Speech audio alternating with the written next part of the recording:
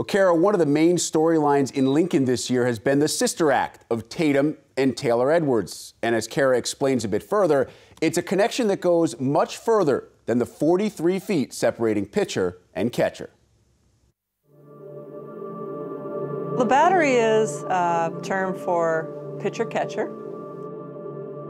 There's a positive and a negative. Hopefully, there's no negative in there, but the negative is constructive criticism. That kind of leads to positives. The negative pushes the positive. Rhythm, ebb, and flow. The harmony of a pitcher and catcher in sync can be a beautiful spectacle. This season, fans have been treated to this symphony when Cornhusker junior pitcher Tatum Edwards takes the rubber with junior catcher and twin sister Taylor Edwards.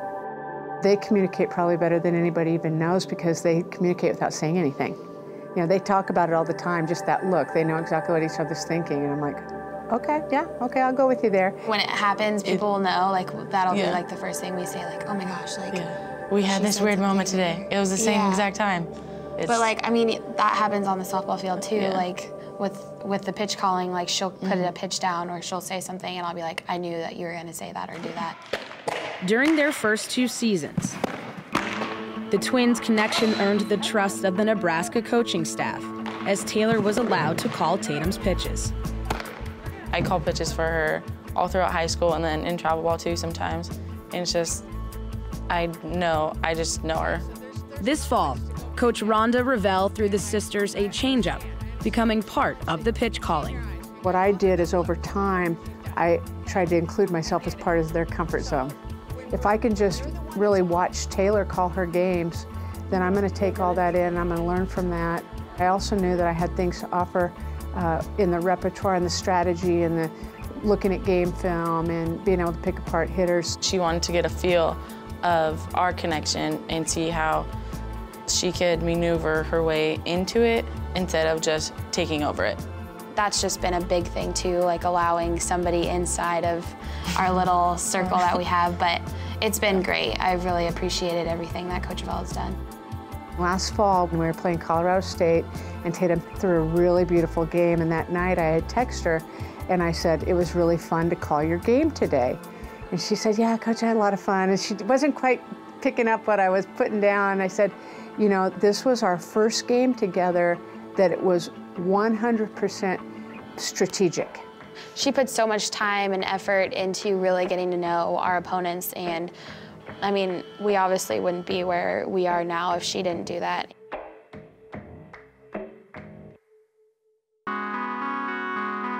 The Edwards sisters were reunited with a familiar face this season when freshman pitcher Emily Lockman joined the Nebraska pitching staff, who competed for the same summer team in California. It's a different, different story when two competitive pitchers enter the same bullpen, ultimately wanting the same thing with the team success, understanding that pitching is a critical element, and yet sharing that. And they have done it as well as any two we've ever had. I'm an information person, and so I want to know every detail about everything. So if I don't know something, like if I'm unsure about a batter or a pitch, I have to ask the question. Coach Revelle and Coach Sipple really helped me with that.